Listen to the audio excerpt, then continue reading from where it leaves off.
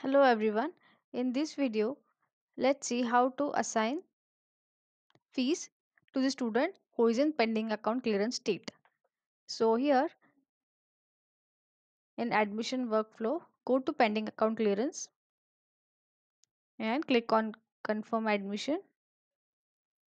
Here uh, go to the assign fee, click on it, select template from your uh, already created fee structure and click on assign fee template button.